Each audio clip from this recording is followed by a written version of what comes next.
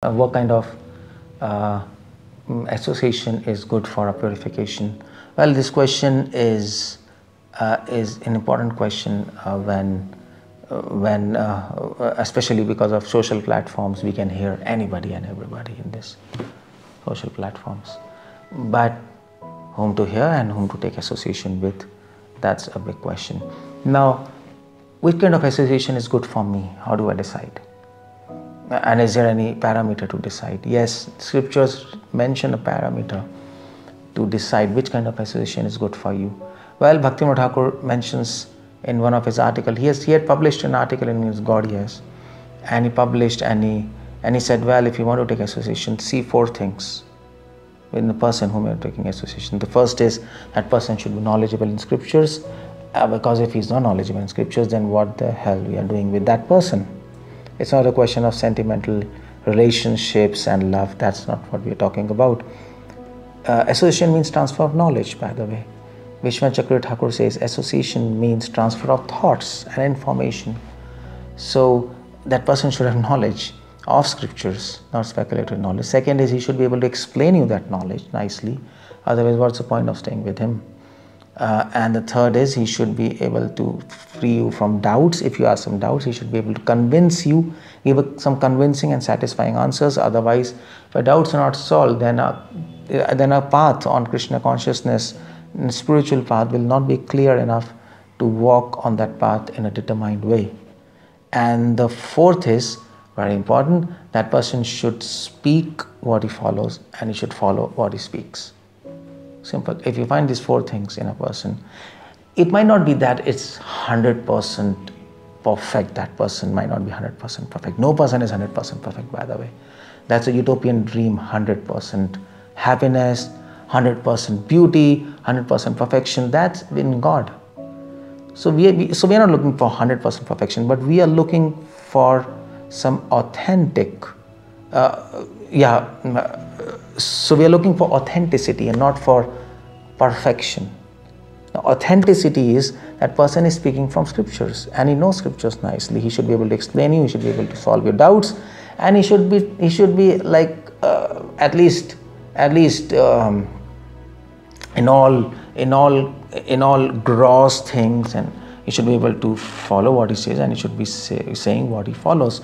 Some fine details there might be some mismatch, but that doesn't matter. In most of the things, this following and saying should match together. Then it's okay. Then we can hear to hear that person. Now, uh, having said that, uh, having said that, one thing is that when we hear to this these kind of people, uh, one thing we have to remember is uh, the fifth point you have to see very important. Along with these four points, the person whom you are hearing, he should not he, should not be a person that flatters you. If that person is flattering you and if he's trying to say things what you like, then that's not the right person whom you are, whom you should hear to. That person whom you're hearing, he should be speaking truth, whether you like it, whether you don't like it. It's not that that person is whom you're hearing, that person is always scolding you, is always condescending you. now that's not what I'm saying.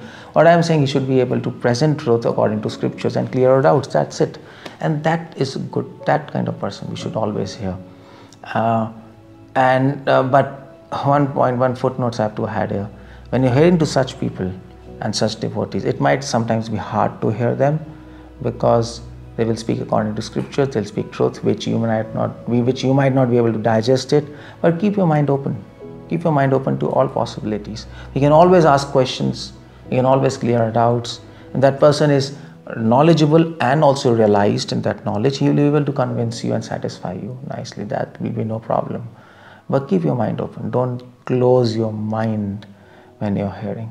And if you can do that, then we can really become purified. Srila Prabhupada was like that, by the way. Srila Prabhupada always spoke truth. Srila Prabhupada always spoke from Bhagavad Gita. Uh, there are many incidences of Prabhupada if you read his life history. Uh, Prabhupada is always speaking truth. He spoke to his disciples openly according to Bhagavad Gita. Many of his disciples, some of his uh, not some of his senior disciples and many other disciples, they couldn't really digest what Prabhupada spoke and they left Prabhupada. Prabhupada said, well, Prabhupada said, if I don't speak from Gita and if I don't repeat God's word, my preaching is meaningless. What's the use of that? That is the spirit. These, that's why everybody heard Prabhupada. Although Krishna sent people to Prabhupada, okay, hear this person. So we should hear to these kind of people if we want to really benefit ourselves. It will purify heart. It will help us. It might be difficult little, but but that doesn't matter. The idea is to become purified and advance in Krishna consciousness, even it is difficult. Every subject is difficult.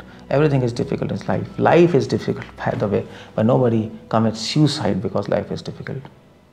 So similarly, you should take good association, considering these four criteria, hear them, apply the instructions in their life, advance, purify ourselves, go back to Krishna. Hare Krishna, Srila Prabhupada.